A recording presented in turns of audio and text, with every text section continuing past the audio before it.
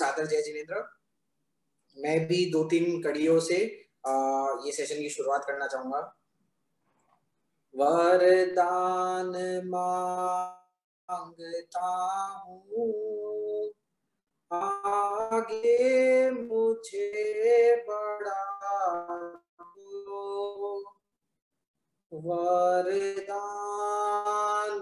माँगता हूँ शिव शिखर पे चढ़ा दो।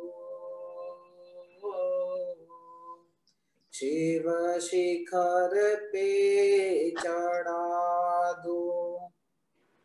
अनुस्रोत की लहर में दिन रात बह आलोक भर हृदय में तन्मय मुझे बना दो। तन्मय बना दो।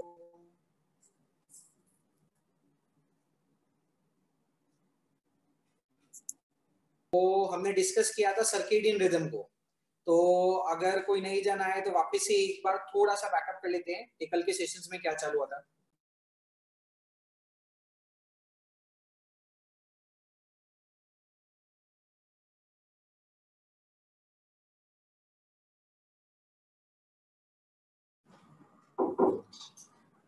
जी। तो जैसा कि आप सब देख पा रहे होंगे, हमने डिस्कस किया था कि नोबेल प्राइज मिला था सर्केडियन रिदम के कॉन्सेप्ट को। हम किया था कि सर्केडियन रिदम एक्चुअल में क्या है, कि बॉडी क्लॉक पाई जाती है ब्रेन के अंदर और पूरे बॉडी के अंदर। जो आप सब आपकी स्क्रीन पे दिख पा रहे होंगे कि ब्रेन के अंदर एक मास्टर क्लॉक होती है। फिर साथ में हमने डिस्कस किया था कि ना सिर्फ़ ब्रेन में क्लॉक है, बल्कि जितने अंग है, जितने ऑर्गन्स है, उसमें भी एक बॉडी क्लॉक पाई जाती है और हमारे बॉडी में जो पूरे सेवेंटी ट्रिलियन सेल्स है, उनमें भी ये पाई जाती है। जैसा कि आप सब देख पा रहे होंगे आपके स्क्रीन पर अब मेन ये चार्ट था जो हमने डिस्कस किया था लास्ट टाइम जो एक्चुअल में सर्केडियन रिदम क्या है वो पूरा बता रहा था और हमने इसको एट लेंथ डिस्कस किया था आ, कि कैसे अलग अलग टाइम पे साइंस के हिसाब से कौन सी अलग अलग गतिविधियाँ होती है। तो वो हम किया है पे देख होंगे कि हर अलग अलग टाइम पीरियड में ये जो हमारे बॉडी के अंदर जो क्लॉक है, उसके अंदर क्या क्या फ़ंक्शन होते हैं? अब जो नए आए और पुराने आए उनको वापिस एक और बार एनोलॉजी के थ्रू समझा दूँ कि ये चीज़ समझने से इतना फ़ायदा क्यों है? क्यों इससे नोबेल प्राइज दी गई है? क्योंकि अगर कोई थियोरी को नोबेल प्राइज मिला है तो बहुत बड़ी बात है और वो भी मेडिसिन के लिए मिला है फिजियोलॉजी के लिए मिला है। क्योंकि ये रिसर्च से, ये सर्केडियन रिदम से हम क्या फ़ायदा उठा सकते हैं? ह्यूमन बींग्स के लिए ऐसा क्या फ़ायदा हुआ है कि इसे एक नोबल पुरस्कार दिया गया है?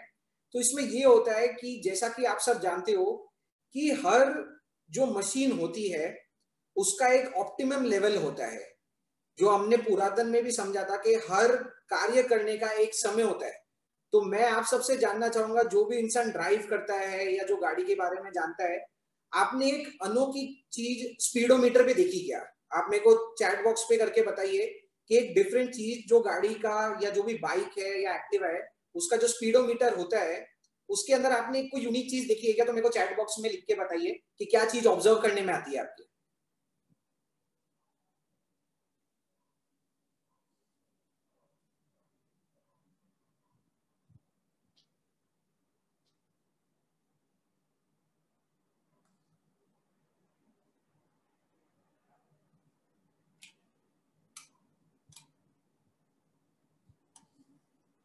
आई गेस यहाँ पे कोई इशू हो रहा है तो चैट बॉक्स में कुछ आया नहीं है। चलो मैं एक बार वापस से एक बार क्लियर कर देता हूँ। स्पीडोमीटर अगर आईओ में देखा होगा तो उसमें ये अक्सर पाया जाता है, अगर आप गौर से देखेंगे, ये कि थोड़े मैसेज आने लगे हैं तो सबके लिए क्लियर कर दूँ। अगर आप गौर से अगली बार देखेंगे तो जो गाड़ी होती है, उसमें 40 से लेके 60 की जो स्पीड है, उसको ग्रीन कलर से मार्क किया जाता है। और अगर उसके नीचे की स्पीड देखोगे 40 से नीचे की तो उसमें रेड कलर मार्क किया जाता है। स्पीड ऑफ़ व्हीकल हंड्रेड की स्पीड ये राइट आंसर है। पर मेन अगर आपने गौर से देखा होगा, ये आपको याद आ रहा होगा, वैसे ही आप एक्टिवा में देखते हो तो 30 से लेके 50 में ग्रीन कलर आता है और उसके नीचे रेड कलर आने लग जाता है। Exactly exactly. तो जैसे किरण जी बोल रहे हैं कि 40 से 60 की जो स्पीड होती है, उसे क्या बोला जाता है? इकोनॉमी स्पीड अब ये इकोनॉमी स्पीड का मतलब क्या होता है? हमने कभी फोकस नहीं किया, यही साइंस की अच्छी बात है और यही हमें धर्म में भी बार बार एक चीज़ सिखाई गई है, जो हमने पहले भी सेशन में डिस्कस किया था, कि भगवान ने मोक्ष का मार्ग क्या बताया है? भगवान ने मोक्ष के मार्ग के लिए एक सिंपल गाथा बताई थी, वो ये थी सम्यक दर्शन ज्ञान चारित्रानी मोक्ष मार्ग जो हम पहले भी डिस्कस कर चुके हैं, यानी फ़र्स्ट स्टेप पे क्या रखा था? सम्यक दर्शन। Darshan is your vision your observe clarity तो वही चीज़ साइंस भी बोल रही है, धर्म भी बोल रहा है कि अगर आपको, आपकी प्रोग्रेस की शुरुआत करनी है तो सबसे पहले आपको ऑब्जर्वेशन से चालू करना पड़ेगा, आपका दर्शन क्लियर रखना पड़ेगा, आपकी दृष्टि क्लियर रखनी पड़ेगी। तो चाहे आप धर्म की चीज़ समझना चाहते हो, चाहे कर्म की समझना चाहते हो, चाहे संसार में आगे बढ़ना चाहते हो you have to be a very observant human being तो यही ऑब्जर्वेंस में दिखता है कि 40 से 60 इयर्स में ग्रीन कलर है ग्रीन को इकोनॉमी जोन बोला जाता है। इसका तात्पर्य क्या है? कि जब आप गाड़ी को या आपकी व्हीकल को ये स्पीड में ड्राइव करोगे 40 से 60 में, जो इकोनॉमी जोन है, तब उसकी सबसे ऑप्टिमम यूटिलाइजेशन होगी। यानी जो हर इंडियन कंज्यूमर्स के लिए ऐसे एड भी बने हुए आते हैं और ऐसे जोक भी मारने में आते हैं कि अगर हम बीएमडब्ल्यू भी लेने जा रहे हैं या फरारी भी लेने जा रहे हैं तो हम सबसे पहले क्वेश्चन अगर ये पूछते हैं सेल्स वाले को पूछते हैं कि भाई एवरेज कितनी देता है? आप गाड़ी लेने जा रहे हो पचास लाख की और एक करोड़ की, पर क्वेश्चन क्या आता है? एवरेज कितनी दी जा रही है? तो ये जो एवरेज डिटरमाइन होती है, इसके लिए मेन क्राइटेरिया होता है कि जितना जितना आप गाड़ी को इकोनॉमी जोन में ड्राइव करोगे, यानी उसकी ऑप्टिमल स्पीड पे ड्राइव करोगे तो उसका फ्यूल यूटिलाइजेशन एकदम कम हो जाएगा। वो कम पेट्रोल खींचेगी और आपको ज़्यादा परफॉर्मेंस देगी, इसलिए आपकी एवरेज भी बढ़ जाएगी गाड़ी की। सेकेंडली गाड़ी का जो लाइफ साइकिल होता है आपने देखा होगा हमारे जो है या जो पुराने लोग अभी भी हम रस्ते पर देखते हैं कि मारुति 800 या एम्बेसडर ऐसी गाड़ियाँ मिल जाती है। क्योंकि उनने उसको बहुत अच्छे से मेंटेन किया है, बहुत अच्छे से ड्राइव किया है और वो अक्सर हम युवाओं पर टोकते कि तुम लोग ड्राइविंग बहुत रफ करते हो। Because we go for speed कि कुछ भी मिला प्लेन रोड मिला, बस पंपिंग किया गैस को 80 100 120 तक जाते हैं। उससे लाइफ साइकिल भी कम हो जाती है। अब इन सब चीज़ों से हमें क्या समझ में आ रहा है कि हर चीज़ का एक ऑप्टिमम टाइम होता है, एक ऑप्टिमम रेंज होती है। यही सर्केडियन रिदम की थियोरी ने बताया है कि जैसे हर मशीनरी में एक ऑप्टिमम जोन होता है, उसमें आपको सर्टन फ़ंक्शन करने के ऊपर पीक परफॉर्मेंस मिलती है। यानी उसका मैक्सिमम यूज़ आप कर सकते हो। उसी तरीके से साइंटिस्ट ने यह बताया कि आपके बॉडी के हर पार्ट का एक पीक टाइम होता है और एक पीक फ़ंक्शन होता है। अगर आपको ये समझ में आ जाएगा और आपकी जो एक्टिविटी है, अगर आप उसके साथ सिंक्रनाइज कर दोगे, यानी उसके साथ तालमेल मिला लोगे तो आपकी जो परफॉर्मेंस है, वो भी पीक पर आ जाएगी। तो इसीलिए इनने ये पूरा टाइम साइकिल हमें बताया कि 24 आवर की साइकिल है। उस टाइम पे बॉडी में क्या क्या रिएक्शन हो रहे हैं और उससे हमें क्या क्या गतिविधि करनी है। तो हमने ब्रीफ में लास्ट टाइम डिस्कस किया था कि मॉर्निंग होते क्या करना है फैक्टर्स वापिस से बता दूँ कि ये जो बॉडी क्लॉक है, इसको क्या चीज़ें इफ़ेक्ट करती है? तो बताया था सनलाइट का। तो सनलाइट हो रहा है, यानी जो डे लाइट है, और जो हम खाना पीना खा रहे हैं, और जो भी हम एक्सरसाइज कर रहे हैं, वो ये साइकिल को इन्फ्लुएंस करने लग जाता है। तो अब इसमें हम देख रहे थे, हमने बहुत डिस्कस किया था कि 12 बजे का टाइम है तो हमने डिस्कस किया था कि लोगस्सा का होता है। वैसे ही मैं आप सबसे पूछना चाहूँगा कि 12 बजे का तो हमने डिस्कस कर लिया था रात को सोने का डिस्कस किया था, हमने ब्रह्म मुहूर्त के बारे में डिस्कस किया था। अब ये जो संध्या काल का समय है, जो ये सनसेट का टाइम आता है, उसके रिलेटेड हमारे यहाँ पे क्या रिचुअल्स दिए गए हैं, वो आप मेरे को चैट बॉक्स में लिख के बताइए कि सनसेट के टाइम में हमें क्या एक्टिविटी करने को बोलते चाहे वो जैन धर्म हो, चाहे नॉर्मल हो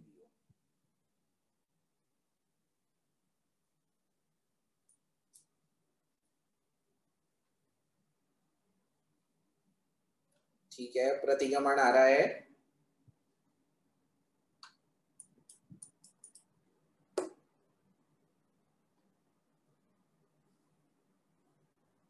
राइट संध्या के टाइम में जैसे देखा गया है, क्या बोला गया है? संध्या काल है। तो संध्या काल में बोला जा रहा है कि संध्या आरती की जाए, या कोई पूजा की जाए, या प्रतिक्रमण की जाए। और जो हमारे जैन रिचुअल्स है, जैन रिचुअल्स में बोला जाता है कि सनसेट का जो टाइम है, हमें आइडियली सनसेट के पहले खाना खा लेना चाहिए।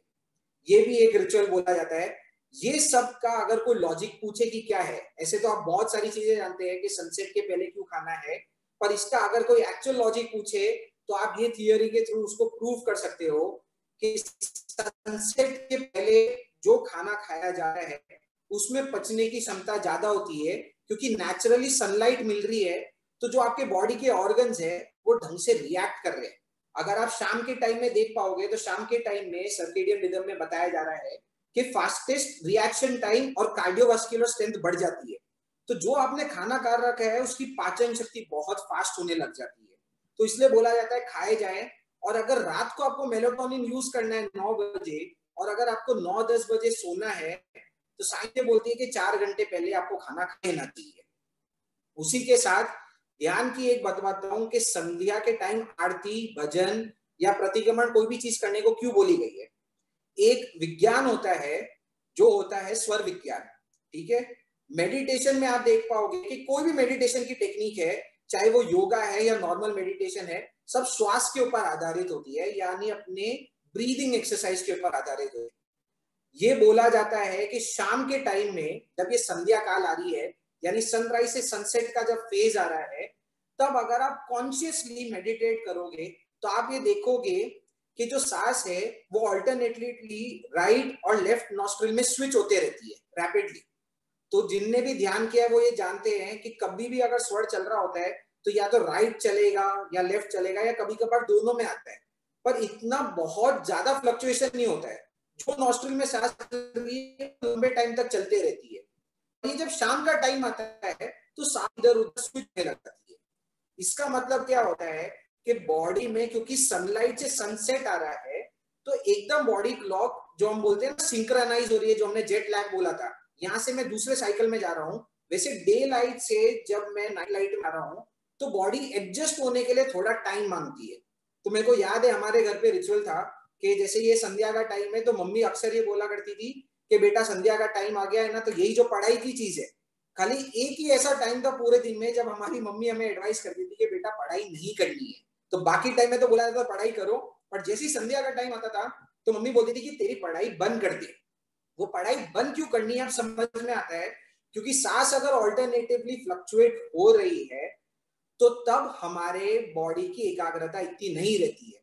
उस टाइम पे ये कहा जाता है कि जितना हो सके स्टेबलाइज करो या कोई दूसरी एक्टिविटी में अपने आप को इन्वॉल्व कर लो।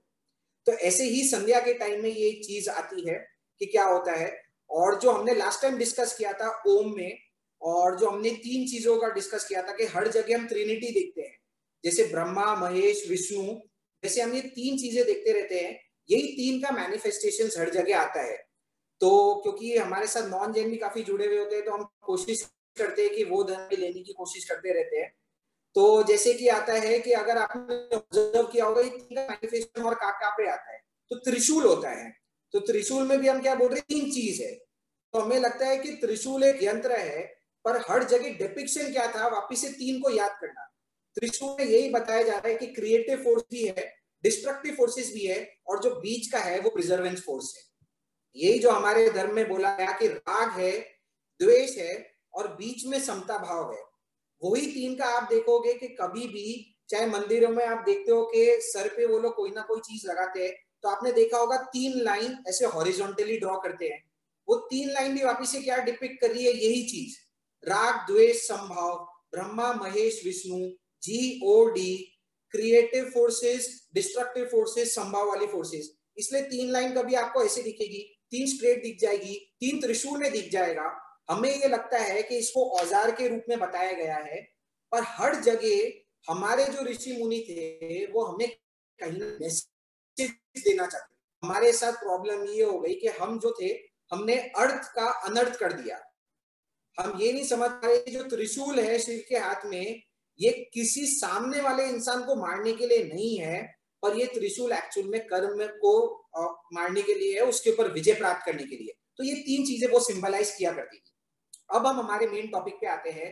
तो जैसे कि आपने सर्केडियन रिदम समझा, हमारी मेन चीज़ थी कि सर्केडियन रिदम तो हमने पूरा जान लिया साइंस के हिसाब से, पर मेन टॉपिक है जैनिज्म एंड साइंस तो जैनिज्म में यही सर्केडियन रिदम की जो थियरी है, इसको कैसे यूज़ किया गया है, आइए हम देखते हैं।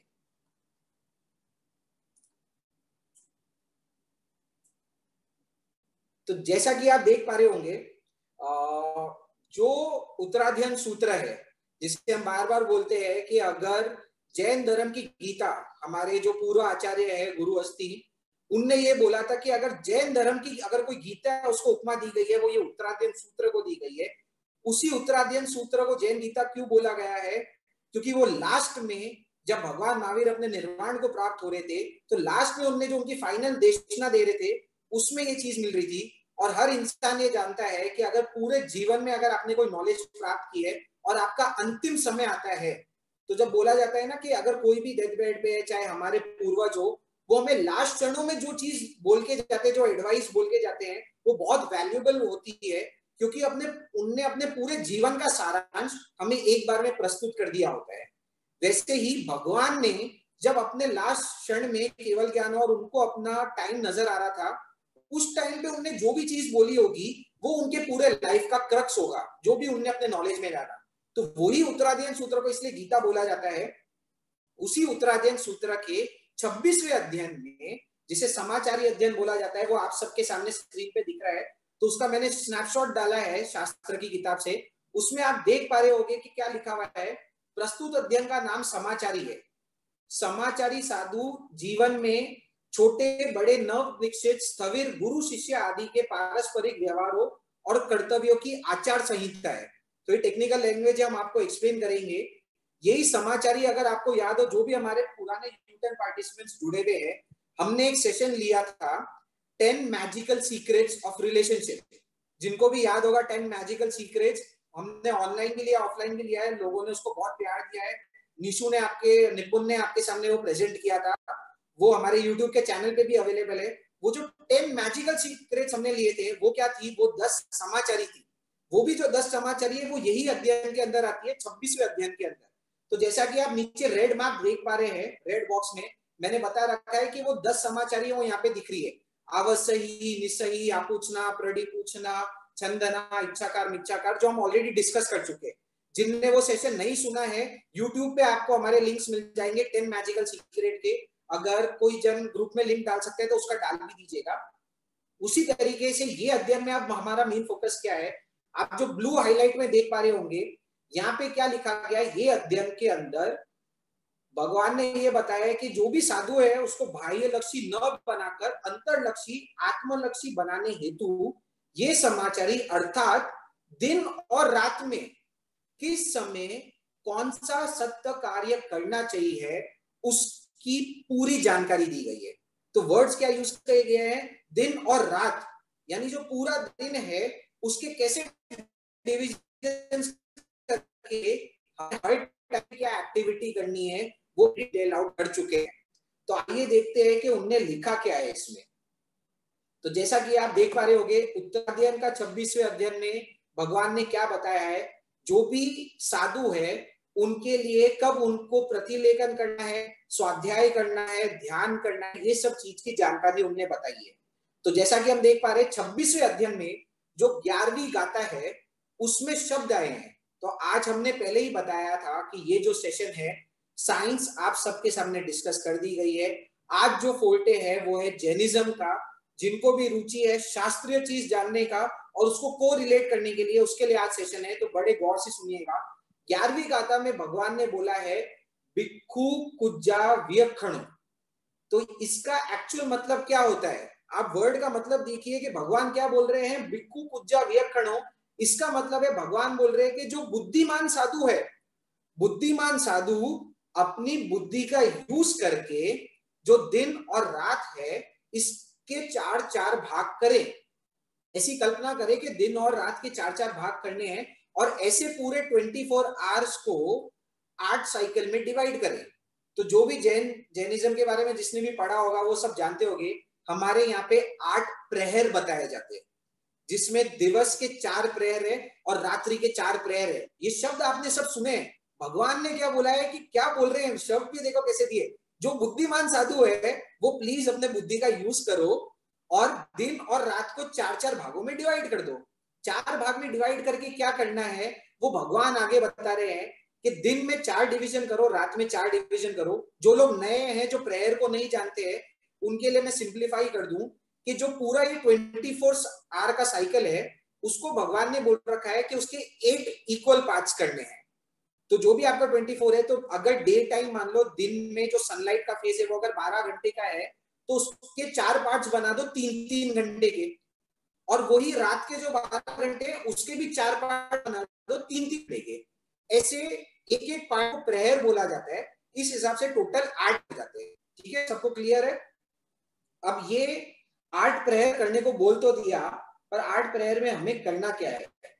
हम आगे डिस्कस करेंगे। उस पहले उत्तराध्यान में तो हमने डिस्कस कर लिया कि भगवान ने क्या बोला है, जो सर्केडियन रिदम से मैच करता है, और उसके अलावा दूसरे शास्त्र सिर्फ़ उत्तराध्यान में अब आ रहा है कि जो सूत्र कतांग सूत्र है, उसके अंदर भगवान है अन्नम काले अणम पान काले लेणम लेण काले और शयनम शयन काले अर्थात इसका क्या है कि अशर पान, लयन, शयन आदि आदि अपने विहित समय में करे अन्नम यानी अन्न।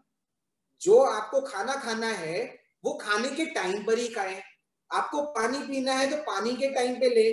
अगर आपको सोना है तो सोने का भी एक टाइम बताया गया है। आपको उठना है तो उठने का टाइम बताया है। जिस एक्टिविटी के लिए जो टाइम बोला है, उसी टाइम पे वो एक्टिविटी करे। जैसा विवेकानंद में भी हमने देखा था, एक समय पर एक ही कार्य करे। ये भगवान दूसरे सूत्र में बोल रहे सूत्र कथा में। उसी तरीके से भगवान आचारांग में क्या बोल रहे हैं?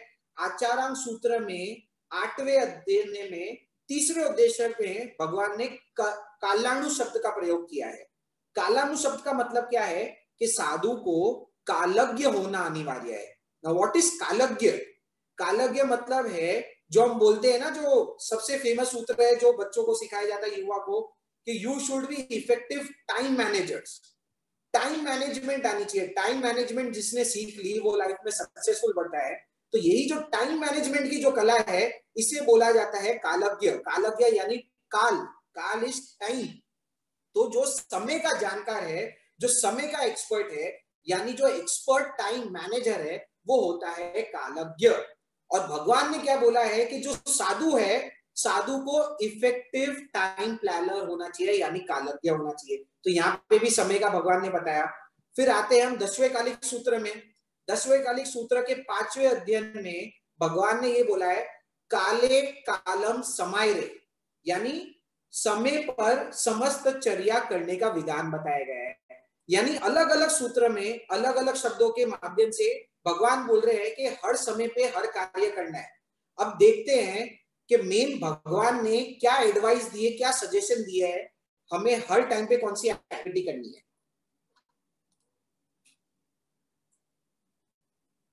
उसके पहले एक और है, जो हमने देखा था कि यही उत्तराध्यन सूत्र उत्तराध्ययन सूत्र के सत्ताईसवें अध्ययन में भगवान से जैसे सब लोग क्या है जनरली ये चीज़ हमने ऑब्ज़र्व की है कि लोग जैनिज्म को इतना नहीं जानते जितना दूसरे धर्मों को जानते हैं। क्योंकि लोगों ने महाभारत, रामायण ये चीज़ देखी है। तो उसमें आपने देखा होगा कि महाभारत और इसमें भी क्या होता है, कृष्ण और अर्जुन का संवाद चलते रहता है। तो अर्जुन कोई ना कोई क्वेश्चन पूछते रहते हैं और कृष्ण भगवान उसको आंसर करते रहते हैं। तो वो डायलॉग होता है, उससे हमें काफ़ी सारी चीज़ें सीखने को मिल जाती है। वैसे ही आप देखोगे, अगर आप जैन स्क्रिप्चर्स पढ़ोगे, वैसे डायलॉग आपको यहाँ पे भी दिखने लग जाएँगे। वैसा ही ये एक बहुत फ़ेमस अध्ययन है, सत्ताईसवा अध्ययन जहाँ पे बहुत सारे क्वेश्चन पूछे जा रहे हैं भगवान को, और वो उसका आंसर दे रहे हैं। तो उसमें ही एक क्वेश्चन आप सबके सामने लिखा हुआ गया है। उसमें ये बोला गया बनते जीवे किम जन यानी शिष्य एक क्वेश्चन पूछ रहे हैं कि भगवान का है? यानी जो ये समय है इसका प्रतिकरण सॉरी मिच्छामी दुकड़न सत्ताईसवा अध्ययन नहीं है, ये उत्तराधन क्या? तो उसके लिए मिच्छामी दुकड़न उसमें ये पूछा जा रहा है कि लेखन करने से भगवान हमको क्या लाभ होगा? तो भगवान बोलते हैं, काल पड़ी लेनायणम नाना हम ई तो मतलब काल का जो प्रतिगमन करता है वो ज्ञानावर्णीय जो कर्म है, उस कर्म का क्षय कर लेता है। ज्ञानवर्णीय कर्म आप जानते हो, जो ज्ञान में विरोध पैदा करता है, अगर वो ज्ञानवर्णीय कर्म आपको हटाना है, क्योंकि हमने क्या किया, सम्यक दर्शन इज़ फ़र्स्ट पार्ट सम्यक दर्शन के बाद आपको ज्ञान लेना पड़ेगा नॉलेज लेनी पड़ेगी। नॉलेज में जो बाधा बन रहा है, वो कर्म को अगर आपको ढीला करना है, काटना है तो आपको क्या करना होगा?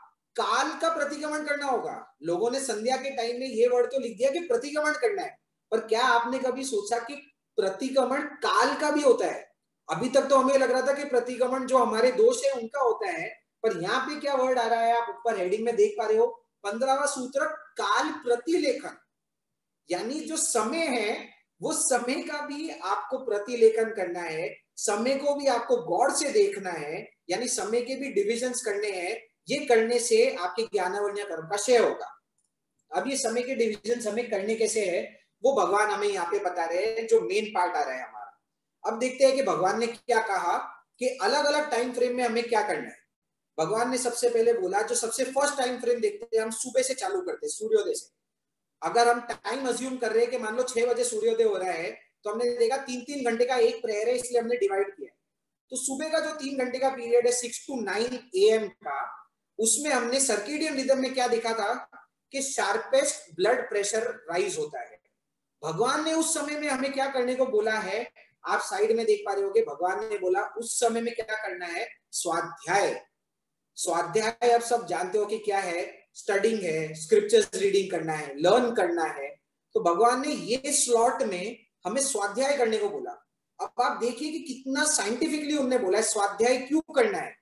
इस टाइम पे क्योंकि ब्लड प्रेशर राइज हो रहा है, जिनने हमारे ब्रेन का सेशन सुना होगा और जिनने नहीं सुना है तो एक ब्रेन का फैक्ट आप सबके सामने लेके आता हूँ कि जब ब्रेन ऑपरेट नॉर्मल में भी अगर हमारे ब्रेन को ऑपरेट करना है तो उसके लिए जो हम बोलते हैं ना कि उसके लिए फ्यूल क्या है, वो फ्यूल है ऑक्सीजन तो नॉर्मल टाइम में हमारा जो ब्रेन है, वो ट्वेंटी परसेंट ऑक्सीजन को कंज्यूम करता है. पर जैसे ही हम पढ़ाई करने लग जाते हैं तो ब्रेन की डिमांड क्या हो जाती है? मशीनरी आपने ऑन कर दी है, उसको 50 परसेंट ऑक्सीजन चाहिए होता है। जितना आप फास्ट यूज़ करोगे, उतना ज़्यादा ऑक्सीजन वो डिमांड करता है। अब आप जानते हो कि ऑक्सीजन ब्रेन में पहुँचता कैसे है? साइंस ये बताती है कि जो हमारा ब्लड फ्लो हो रहा है, वो ब्लड के अंदर ही ऑक्सीजन होता है। हमने एनवायरमेंट से ऑक्सीजन को कंज्यूम किया, वो ऑक्सीजन ब्लड के माध्यम से पूरे बॉडी में सर्कुलेट हो रहा है। अब सुबह के टाइम में क्या बता रहा है सर्केडियन रिदम ब्लड प्रेशर है, वो तेज़ी से बढ़ रहा है। तो यानी जो ब्लड का फ्लो हमारी पूरी बॉडी में है, वो एकदम फास्टली बढ़ रहा है। उस टाइम पे अगर हम स्वाध्याय करते हैं तो मेरे को ज़्यादा ब्लड यानी ज़्यादा ऑक्सीजन की रिक्वायरमेंट है पढ़ाई करने के लिए। तो अगर इस टाइम पे मैं पढ़ाई करने बैठूँगा तो नेचुरली ब्लड प्रेशर जो राइज हो रहा है, उससे मेरे को ऑक्सीजन मिल जाएगा और मेरी पढ़ाई इजीली हो जाएगी। इसलिए भगवान ने साधु को पहले प्रेयर में दिन के पहले प्रेयर में स्वाध्याय करने को कहा गया। दूसरे प्रेयर में भगवान ने क्या कहा? जो नौ से बारह का है, उसमें लिखा गया है कि ध्यान करना चाहिए। अब हमने लास्ट टाइम भी डिस्कस किया था, ये प्रेयर में क्या है? अलर्टनेस है, यानी आपका फोकस है। तो भगवान ने देखा कि फोकस की रिक्वायरमेंट सबसे ज़्यादा ध्यान में चाहिए होती है। इसलिए साधुओं को बोला कि अब तुम्हारी पढ़ाई लिखाई सब बंद कर दो। अब क्या करने बैठो? जो तुमने पढ़ाई की है उसके ऊपर चिंतन मनन करने लग जाओ, ध्यान करने लग जाओ, क्योंकि प्राकृतिक तौर पे तुम्हारी अलर्टनेस पीक लेवल पे प्रेयर में ध्यान का विधान है तीसरा जो प्रेयर है दिन का तीन का ने क्या करने को बोला कि? उस टाइम पे आप जाके भिक्षाचर्य का कार्य है। अब कितना ब्यूटीफुल चीज़ है। देखिए, बारह से तीन के स्लॉट में क्या लिखा गया है? साइंस क्या बोल रही है? फास्टेस्ट कोऑर्डिनेशन टाइम है, ठीक है? बारह से तीन में। कोऑर्डिनेशन क्या है? भगवान ने इस टाइम पे खाने को नहीं बोला है। हमारे लिए जो श्रावक है, उनके लिए क्या इजी है? खाना अपन को रेडीमेड मिलता है, कोई खाना बना के दे देता है तो बहुत इजी है। हमको मेहनत नहीं करनी होती या तो वाइफ बना रही है, या नौ बना रही है, या होटल में जाके खाना खा रहे हैं। तो हमें कोऑर्डिनेशन से मतलब नहीं है। पर ये भगवान ने किसके लिए बोला है? साधु के लिए। और श्रावक स्वावलंबी है, क्योंकि हमारा धर्म पराधीन नहीं था स्वावलंबी था। इंडिपेंडेंट था ये बारह से तीन के स्लॉट में भगवान ने साधु को क्या बोला कि देखो, गोचरी लेने जाना है, गोचरी लेने ये टाइम पे जा, गोचरी को लेके आ जा, गोचरी जो लेके है, उसको उसी टाइम पे खा ले, और गोचरी खाने के बाद आहार तो कर लिया तो आहार के साथ बोला जाता है निहार, यानी आपके जो आवश्यक कार्य है वन नंबर और टू नंबर वो भी आपको लघु शंका और दीर्घ शंका भी इसी टाइम स्लॉट में पूरी करनी है। तो भगवान ने तीन तीन एक्टिविटीज़ बोल दी। खाने लेने भी जाओ, आकर खाना भी खाओ और खाने के बाद जो आपको आवश्यक कार्य करना है वो भी कंप्लीट कर लो। अब आप जानते हो ये एक्टिविटीज़ करने के लिए जो जो संत साधुओं को जानते होंगे, जिनका परिचय होगा साधु से, जैन साधुओं से, वो पर्टिकुलरली जानते होगी कि गोचरी लाने की भी एक जो चीज़ है ना, वो भी इतनी मेंटल एक्टिविटी डिमांडिंग चीज़ है। साधु को ये सोचना पड़ता है कि मेरे को किस किस घर में जाना है, कितने किलोमीटर के लिए जाना है, मेरे यहाँ पे कितने साधु है, आज किसका एकाशना है, किसका उपवास है, कितनी मैनेजमेंट चाहिए होती है, इन सब के लिए आप जानते हो, अगर आप कोई भी इवेंट ऑर्गेनाइज कर रहे हो तो इवेंट में कोऑर्डिनेशन जितना अच्छा होगा इवेंट उतना सक्सेसफुल बनता है। वैसे ही आपको खाने की प्लानिंग करनी है, इसलिए मैं खाना लेने जाऊँगा, खाना आके खा लूँगा, और फिर निहार के लिए भी चले जाऊँगा तो मेरी कोऑर्डिनेशन स्किल तभी एकदम हाई होनी चाहिए। भगवान ने अपने दिव्य ज्ञान में ऑलरेडी देख लिया, जो साइंटिस्ट अभी देख रहे थे, कि इस टाइम पे जो ब्रेन और बॉडी कोऑर्डिनेशन की पीक पर है, इसलिए मेरे को ये एक्टिविटी साधुओं को करने को बोल देना चाहिए। तो इसलिए उन्होंने भिक्षाचर्य का कार्य तब दे दिया, बारह से के तीन स्लॉट में। अब देखते हैं जो नेक्स्ट स्लॉट है, यानी दिन का जो अंतिम प्रहर है, उस प्रेयर में भगवान ने क्या करने को बोला? भगवान ने वापिस से वो प्रेयर में स्वाध्याय करने को बोला। यानी वापिस से रीडिंग करने को बोला, पर आजकल के टाइम में देखा जाता है कि रीडिंग और रीडिंग के साथ अगर आप साधुओं को जानते होगे तो जो हम बोलते हैं पल्लेवना का कार्य है, कि उन्होंने खा लिया, उनके जितने भी है, उनके उपकरण है, उसकी वो पल्लेवना करते हैं, या फिर जो बूढ़े संत है, उनके लिए अगर वापिस से शाम को खाना तो खाना लेके आते हैं, और वो एक्टिविटी उनकी जैसे ही कंप्लीट हो जाती है तो आप देखते हो, पल्लेवना के अलावा जो बाकी का टाइम है, वो वापिस से स्वाध्याय में जाते हैं। वापिस से स्वाध्याय क्यों दिया गया है? क्यों परिवना का टाइम दिया गया है? क्योंकि साइंस उस टाइम पे क्या बोल रही है? फास्टेस्ट रिएक्शन टाइम ठीक है? अब ये रिएक्शन रिएक्शन जब हो रहा है देखो कितना साइंटिफिकली किया। खाने को कब बोला? बारह से के, बारह से तीन के स्लॉट में आप खाना खा लो। खाना तो मैंने खा लिया, पर खाने को अब मेरे को पचाना है। तो मैंने फ़ूड को तो अंदर ले लिया पर मेरे बॉडी के जो जितने पार्ट्स है, क्योंकि हमने बोला बॉडी क्लॉक सिर्फ़ ब्रेन में नहीं है, पर आपका इंटेस्टाइन लिवर हार्ट बीट सब में क्लॉक है, हर सेल में क्लॉक है। तो जो आपके खाने के जितने यंत्र है, वो अब रिएक्ट करना चालू हो जाते हैं। उनका रिएक्शन आने लग जाता है। यानी आपने आपके शरीर को जो खाना दिया है, वो खाने पे आपके ऑर्गन्स रिएक्ट करने लग जाते हैं और रिएक्ट करके क्या करते हैं? जो भी आप आयुर्वेदा जानते हो, जो साइंस जानते हो, जो खाना खिया है चर्निंग बोलते हैं। You start churning your food तो जो खाना दिया है, उसकी मशीनरी चालू हो जाती है रिएक्शन से और हम जो बोलते हैं ना, खाने का रस बनना चालू हो गया। अब वो रस बन रहा है, ना सिर्फ़ शरीर के मेन ऑर्गन्स में, बल्कि हर सेल वो रस को बना रही है और वो रस अवेलेबल करवा रही है पूरी बॉडी में, ताकि पिछले प्रेयर में जो आपने खाना खाया, वो अच्छे से उसका जो चर्निंग है वो कंप्लीट हो पाए। इसलिए भगवान ने तभी स्वाध्याय और प्रतिलेखन ये कार्य बोला गया था। अब हम देखते हैं रात्रि के प्रेयर। ये तो हो गए दिन के हमारे चार प्रेयर कंप्लीट। रात्रि के प्रेयर में भगवान ने क्या बोला? वापिस से रात्रि का प्रथम प्रेयर चालू हो रहा है। प्रथम प्रेयर में भगवान ने वापिस से स्वाध्याय करने को बोला। और फिर से स्वाध्याय करने को क्यों बोला? इस टाइम पे देखो सर्किडियन रिदम क्या कह रही है? वापिस से हाईएस्ट ब्लड प्रेशर आ रहा है। और ब्लड प्रेशर हम ऑलरेडी डिस्कस कर चुके हैं कि ब्लड प्रेशर बढ़ रहा है तो वो आपको स्वाध्याय में हेल्प करेगा। इसलिए भगवान ने वापिस से तब स्वाध्याय लिख दिया। नेक्स्ट है नौ से बारह का जो पीरियड है, जो हमने लास्ट टाइम डिस्कस किया था लेंथ में कि मेलोटोनिन जो है, वो सिक्रीट होने लग जाता है ये टाइम पे। अब यहाँ पे मैं एक मेन पॉइंट आप सबके सामने लेके आना चाहूँगा क्यों साइंस या बड़े लोग आपको इस टाइम पे सोने के लिए बोल रहे थे। जो हमने देखा मेलोटोनिन बहुत इसेंशियल फ्लूड है जो आपको चाहिए आपके रीजेनरेशन के लिए। पर मेलोटोनिन सीक्रेट कैसे होता है? ऐसा नहीं है कि अगर हम जगे हुए हैं तो मेलोटोनिन आ रहा है। मेलोटोनिन कब आता है? उसके लिए मेन इन्फ्लुएंसिंग फैक्टर क्या है? लाइट तो जब सनलाइट चल रही होती है, रात्रि का समय होता है तो क्या डार्क लाइट आने लग जाती है?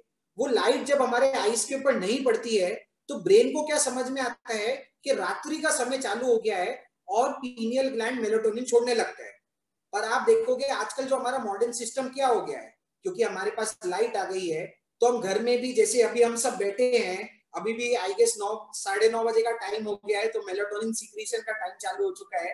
पर हम सब क्या कर रहे हैं, हम लाइटिंग में बैठे हैं। This is known as artificial light ये आर्टिफिशियल लाइट जब आइस के ऊपर पड़ती है तो ब्रेन को क्या मैसेज चाहता है कि अभी भी दिन है, क्योंकि वो लाइट को देख पा रहा है। तो जो मेलेटोनिन सीक्रेट है, वो सीक्रेट होता ही नहीं है, वो प्रोसेस रुक जाता है। मेलेटोनिन कब सीक्रेट होगा जब आपकी आप लाइटें बंद कर दोगे तो या तो बाहर की लाइट बंद करो, या फिर सिंपल चीज़ है, अपनी आँखें बंद कर लो। आँखें बंद कर लिया तो डार्क हो गया और मेलेटोनिन सीक्रेट होने लग गया और वो आपके काम में आने लग जाएगा। इसीलिए साइंस से बोलती है कि 9-10 बजे के आसपास आप सो जाओ और सोने के पहले आपको एडवाइस दी जाती है कि एटलीस्ट एक घंटे पहले जितने भी आपके इलेक्ट्रॉनिक गैजेट्स है, टीवी है, ये सब चीज़ों को छोड़ दो। क्योंकि ये सब चीज़ें भी लाइट एमिट करती है और आपके मेलोटोनिन में डिस्टर्ब करती है। तो इसलिए सब यंत्र छोड़ना है। रात को बोला जाता है कि डिम लाइट कर दीजिए। पुराने जमाने में डिम लाइट नहीं होती तो कैंडल दिया बत्ती लालटेन ये जला दिया करते थे। छोटी सी बुक पढ़ते थे या ध्यान करते थे और फिर धीरे धीरे स्लिप डाउन होकर सो जाते थे। पर यहाँ पे देखो भगवान क्या बोल रहे हैं? भगवान ने नौ से बारह के टाइम में क्या करने को बोला? सोने को नहीं बोला। यानी आपके जो बड़े बोल रहे थे कि सो जाओ बेटा, जो साइंस बोल रही है सो जाओ, भगवान क्या बोल रहे सोने सोने का टाइम नहीं आया। भगवान ने बोला, इस टाइम क्यों ध्यान करने को बोला गया? आप ये देखे कि एक्चुअल जो ध्यान है, वो ध्यान की प्रक्रिया क्या है? आग बंद कर दी तो ऑटोमेटिकली डार्कनेस आ गई है। ध्यान को बोला जाता है सुप्त जागृत अवस्था। इट इज़ वेकफुलनेस स्लीप जिसे इंग्लिश में बोला जाता है। तो जब आप ध्यान कर रहे हो तो आपकी बॉडी सो रही है, आपका जो माइंड है, उसकी जो एक्टिविटी है, वो भी सो रही है, पर आप जागरूक हो, आप जगे हुए हो, आप कॉन्शियसली देख पा रहे हो। तो हमने क्या किया? बॉडी स्लीप में डाल दिया ब्रेन को स्लीप में डाल दिया तो ऑटोमेटिकली मेलोटोनिन है, वो तो सीक्रेट होगा। तो आप टेंशन मत लेना। अगर आप ध्यान कर रहे हो तो मेलोटोनिन जो है वो प्रोड्यूस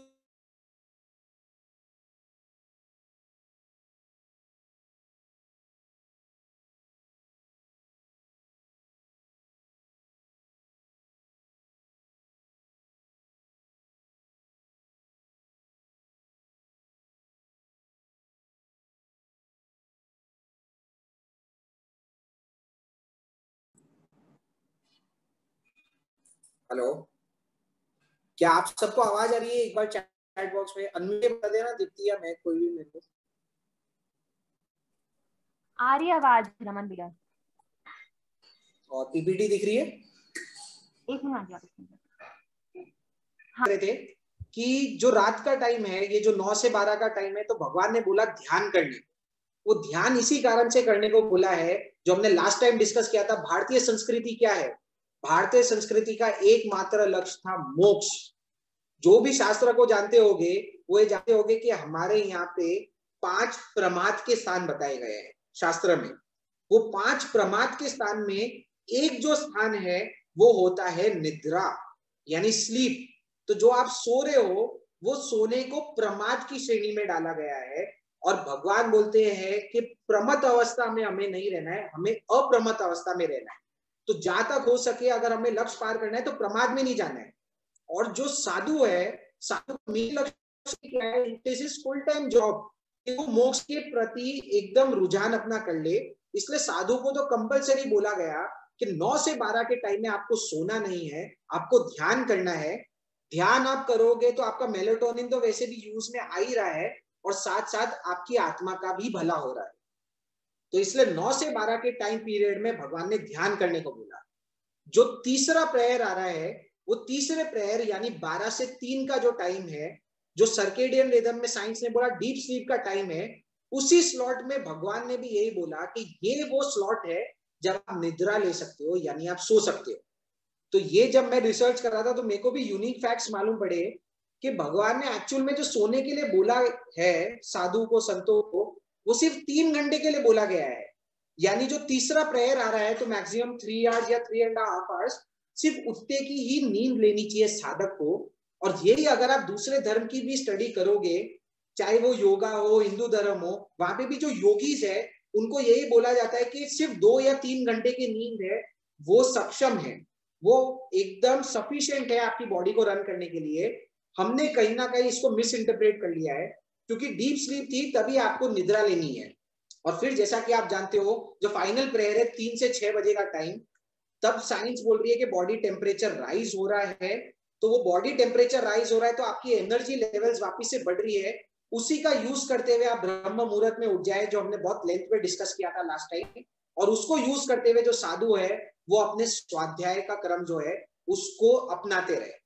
तो इस तरीके से भगवान ने कितने साइंटिफिकली बोला है कि आपको सिर्फ़ तीन घंटे सोना है और इस तरीके से एक्टिविटी करनी है, इसमें मेन एक पॉइंट में मैं आपका और फोकस लेके आना चाहूँगा लास्ट में, वो है, अगर आप पूरे टाइम स्लॉट में देखा जाओगे तो सिर्फ़ तीन घंटे सोने के लिए, साधु के लिए, और खाने का अगर आप देखोगे तो सिर्फ़ एक ही टाइम दिया है खाने का। बारह से तीन बजे के टाइम में भगवान ने बोला है कि आहार लो। यानी भगवान ने कहीं पे भी ब्रेकफास्ट करने को नहीं बोला है और डिनर यानी जो शाम का हाई टी है, वो करने को नहीं बोला है। साधु और श्रावक दोनों के लिए बस सिर्फ़ एक बार खाने को बोला है। यानी जिसे हम हमारे शास्त्र में समझते एकाशना। तो भगवान की एक्चुअल वाणी में हर साधु या हर श्रावक जो है, जिसको भी ये चीज़ करनी है, उसको सिर्फ़ एक ही टाइम खाना खाना चाहिए। वो एक टाइम आप खाना खाओगे तो आपकी बॉडी पीक परफॉर्मेंस पे रहेगी। और अब मैं एक और साइंस के फैक्ट में लेके आऊँगा कि लोगों को लग रहा है कि क्या पूरे दिन में एक ही बार खाना, हमारे जो महाराज साहब है, वो भी एक बार नहीं खाते, वो भी सुबह की गोचरी लेके आते हैं और दिन में खाते एटलीस्ट दो बार तो खा ही लेते हैं। हाँ कभी कभार एकाश में उपवास कर लेते हैं। पर हमें क्या देखना है कि भगवान ने क्या बोला है, इसलिए you have to go there and read the scriptures बोला गया है कि जो बड़ा संत है, जो वृद्ध संत है, या जो नव दीक्षित लोग है, वो एक बार से ज़्यादा आहार भले ही कर ले, पर जहाँ तक हो सके जो साधक आत्मा है वो एक बार आर करे और साइंस जो बीमार साधु है जो वृद्ध है और जो यंग है उनको लेना है पर बाकी सबके लिए सिर्फ़ एक ही बार बोला है। वैसे ही योगा में भी बोला जाता है कि सिर्फ़ वन मील खानी चाहिए आपको आधे एक घंटे के लिए। और ये अब आपको बताओ कि साइंस में ट्रेंड क्या है जो आप सब जानते होंगे। इंटरमीडियंट फास्टिंग आप सबने सुना होगा बहुत ही ट्रेंडिंग चीज़ है। जिन लोगों को भी वेट लॉस करना है वो अपने डाइट क्या करो? इंटरमीडियंट फास्टिंग चालू कर दो, आपका वेट लॉस हो जाएगा। अब इंटरमीडियंट फास्टिंग क्या है? लोगों को वो भी नहीं मालूम है। मैंने इतने सारे युवा और लोगों से बोला इंटरमीडियंट फास्टिंग क्या है? उनके भी कॉन्फ्लिक्टिंग रिव्यूज़ है। उनको भी नहीं मालूम है कि इंटरमीडियंट फास्टिंग में करना क्या होता है। आपको बताओ what is actual intermediate fasting intermediate fasting is a rule बहुत गौर से सुनना और सब लोग इस शेयर भी करना अपने जानने वाले लोगों से। Intermediate fasting follows a rule of 16 is to 8 यानी 16 घंटे 16 आवर्स की फास्टिंग होनी चाहिए। 16 घंटे तक एक साथ इकट्ठे आपको कुछ भी नहीं खाना है। और जो दूसरा है, आठ, वो आठ क्या है? आपको सिर्फ़ दिन में दो बार खाना है। और ये जो आप दो बार खा रहे हो, ये दो बार खाने के बीच में आठ घंटे का गैप होना चाहिए। तो अगर आपने सुबह नाश्ता किया है आठ बजे तो आठ घंटे का ब्रेक लो, यानी शाम को चार बजे आपको वापिस से खाना खाना है, और वो शाम को चार बजे खाना खाने के बाद सोलह घंटे, यानी अगले दिन सुबह आठ बजे वापिस से खाना है that is what is intermediate fasting sixteen is to eight उसमें भी आप ये जो दो बार खाना खा रहे हो तो वो दो बार में दस बार जितना खाना नहीं खाना है। नाश्ते का टाइम है तो सिर्फ़ नाश्ता करो, भैया जो पंद्रह पंद्रह मिनट करते हो, दस मिनट करते हो, वो कर लेना। और खाने का टाइम है तो खाना खा लेना। ठूसना नहीं है उनको। ये चीज़ करने के लिए। तो हमने उसको मिस इंटरप्रेट कर लिया है। बहुत सारे आते हैं कि भैया इंटरमीडियंट फास्टिंग कर रहे हैं। तो क्या कर लिया? मैंने दिन में खा लिया बारह, एक, दो बजे। फिर मैं रात को आठ बजे खाता हूँ और तीन तीन चार चार चीज़ें खा लेता हूँ। बोला, इसलिए तेरा सौ किलो ही वज़न है। कम नहीं होने वाला है। वो कम करने के लिए तेरा जो डाइटिशियन है, वो गलत एडवाइस दे रहा है। मेरे पास आ मैं देखो फ्री में एडवाइस दूँगा, सही चीज़ बताऊँगा कि क्या है। अब ये है इंटरमीडियंट फास्टिंग ये इतनी ट्रेंडिंग चली है कि वेट लॉस हुआ है। आप सब लोगों के चेहरे पे मैं देख पा रहा हूँ, हँसी आ रही है। अब जो जैन लोग हैं, जिनने ये फिनोमिना सुना, आपके मन में क्लिक हुआ होगा। जब मैंने इंटरमीडियंट फास्टिंग के बारे में पहली बार पढ़ा तो मेरे दिमाग में वो जो होता है ना कि मेंटोस खाओ और दिमाग की बत्ती जलाओ तो वैसे मेरी भी दिमाग की बत्ती जली। अरे इंटरमीडिएट फास्टिंग ये तो भगवान ने यही तो बोला कि ब्यासना होता है। हमारी मम्मी पापा गुरु बोल रहे ब्यास ना करो, ब्यास ना करो। ब्यास ना क्या है? दो बार ही खाने को बोला गया है ना आपको। और वो दो बार भी खाना कब खाना है? दिन दिन में खाना है। जो एक्चुअल इंटरमीडिएट फास्टिंग है, उसमें डाइटिशियन बोल रहा है you should not eat at night ये जो दो मील्स लेनी है, वो भी सनसेट के पहले लो। वही सर्केडियन रिदम भी बोल रही है सनसेट के पहले लो आपके फ़ायदे के लिए। तो यानी ब्यासना आप करोगे तो जिनको भी वेट लॉस करना है, शरीर को फिट रखना है डेली ब्यासना चालू कर देना। इंटरमीडियंट फास्टिंग मत करो उससे तो लाभ मिल ही रहा है। पर इंटरमीडियंट फास्टिंग के साथ जो ब्यासना का पचकान आता है वो पचक लेना तो आपकी बॉडी के साथ आपकी आत्मा को भी फ़ायदा हो जाएगा। डबल बेनिफिट है। तो इंटरमीडियंट फास्टिंग करना है वो आप सब तो जानते ही होंगे। अब मैं एक और नया ट्रेंड आप सबके सामने लेके आ रहा हूँ जो शायद किसी को पता होगा अब तक यहाँ पे आया नहीं है क्योंकि फिनोमिना क्या है? बाहर वेस्टर्न दुनिया में जो चीज़ चालू होती है वो यहाँ पे 10, 15, 20, 25 साल बाद यहाँ पे आती है। तो वहाँ से कोई चीज़ चालू होगी, वो वहाँ पे बासी चीज़ हो जाएगी, वो हमारे यहाँ पे परोसी जाएगी। जैसे यही जो सीक्रेट आपको बताया गया था द सीक्रेट है लॉ ऑफ़ अफर्मेशन है, रहस्य है, ये सब चीज़ें अगर आप बाहर अभी वेस्टर्न में जाके देखोगे, अभी इतनी फ़ेमस नहीं है। वो कोई नई नई थियरीज पे आ गए, पर हम लोग लॉ ऑफ़ अट्रैक्शन अब फॉलो करना चालू कर रहे हैं। वैसे इंटरमीडिएट फास्टिंग के आगे अब मालूम है ये लोग क्या बोल रहे हैं? आपको क्या करना चाहिए? ये कॉन्सेप्ट होता है O MAD O M A D O MAD का मतलब क्या होता है? ये नया ट्रेंड चालू हो गया है। तो जो नहीं जानते वो जाके शो ऑफ़ करना कि I am I have started doing O MAD so what is O MAD one meal a day क्या बोला जा रहा है? सही सुन रहे हो आप? ट्रेंड क्या है? वन मील अ डे अब साइंस और डाइटिशियन क्या बोल रहे हैं? भाई, दो बार भी मत खाओ। क्या करो? सिर्फ़ एक बार दिन में खाना खाओ। ये 16 इस टू एट का जो रूल था, वो चेंज होके क्या रूल बन गया है? 23 इस टू वन क्या बोला जा रहा है? तेईस घंटे फास्टिंग करो और एक घंटे में खाना खाओ। अब आप लोगों को भी दिमाग की बत्ती जल गई। भगवान ने क्या बोला था? भगवान ने बोला एकाशना करना है। हमारे यहाँ पे बताया गया एकाशना अब वो एकाशना हमने सुना था, पर जब मैंने सर्केडियन रिदम पढ़ा और समाचारी में रिसर्च किया तो मालूम पड़ा एक्चुअल में भगवान ने लिटरली एवरीडे एकाशना करने को बोला है। क्योंकि 12 से तीन में सिर्फ़ एक ही बार खाने को बोला गया ना। वो एक ही बार खाना खाने को जो बोला जा रहा है वही साइंस बोल रही है। If you have to become fit you have to start following OMAD, that is one meal a day. And do you know who, which people are following this? आप सबने एक चीज़ के बारे में सुना होगा। ट्विटर के बारे में तो आप सब जानते होंगे राइट ट्विटर सबने सुना है इतना फ़ेमस हुआ है। तो कोई जानता है कि ट्विटर का ओनर कौन है? सीईओ कौन है? तो ट्विटर के ओनर का नाम है जैक डॉर्सी ठीक है? और सब लोग उसको जानते हैं कि वो ट्विटर का ओनर है, पर वो बंदा सिर्फ़ ट्विटर का मालिक नहीं है, उसकी एक और दूसरी कंपनी है जिसका नाम है स्क्वायर तो ट्विटर से तो उसको ढाई बिलियन डॉलर की कमाई है, पर जो उसकी दूसरी कंपनी स्क्वायर उससे वो छह बिलियन डॉलर की नेटवर्थ है। तो ट्विटर से भी ज़्यादा वो दूसरी कंपनी से करता है। दो बड़ी बड़ी कंपनियों का सीईओ है, ये जो जैक डॉर्सी बंदा है, ये ओमैड फॉलो करता है। ये दिन में सिर्फ़ एक बार खाना खाता है। और ये अपने इंटरव्यूज़ में क्या बोल रहा है कि भाई मैं तो एक बार खाना खाता हूँ, और मेरे जो बिरादरी वाले लोग हैं, जिसे हम युवा जानते हो सिलिकॉन वैली एंथ्रोप्रेन्योर्स या जो हम हाई फाई लोग हैं तो हमारे जो बिरादरी के लोग हैं, हम सब ये नया रूटीन फॉलो कर रहे हैं, और इससे हमने देखा क्या कि हमारे शरीर को तो फ़ायदा हो ही रहा है, हम पतले हो रहे हैं फिट हो रहे हैं, शरीर के साथ साथ ब्रेन को फ़ायदा हो रहा है। मेरी ब्रेन की कैपेसिटी एकदम बढ़ रही है, और बोले कि हमारे धंधे में अगर धंधा बढ़ाना है तो ब्रेन चलनी चाहिए, क्योंकि मैं खुश नहीं हूँ आठ बिलियन डॉलर कमा के, मेरे को नंबर वन बनना है, उसके लिए ब्रेन चाहिए। और दो दो कंपनी का मालिक हूँ तो मेरे को स्टेबिलिटी चाहिए। तो जब मैंने वन मील डे करना चालू किया इंटरमीडिएट फास्टिंग से तो मेरे को रिज़ल्ट अच्छे मिले। अब आपको ये जान के एक और अचरज होगा। आज मैं ब्रेकिंग न्यूज़ पे ब्रेकिंग न्यूज़ लेके आ रहा हूँ। ब्यास ना तो करना है, वो चालू कर देना जिससे नहीं हो रहा है। उसके बाद एकासना करना फिर ये जैक डॉर्सी क्या कर रहा है? वो क्या बोल रहा है? मैं ओमेड तो कर रहा हूँ। अब मैंने नया एक चीज़ ट्राई किया है, वो ये है।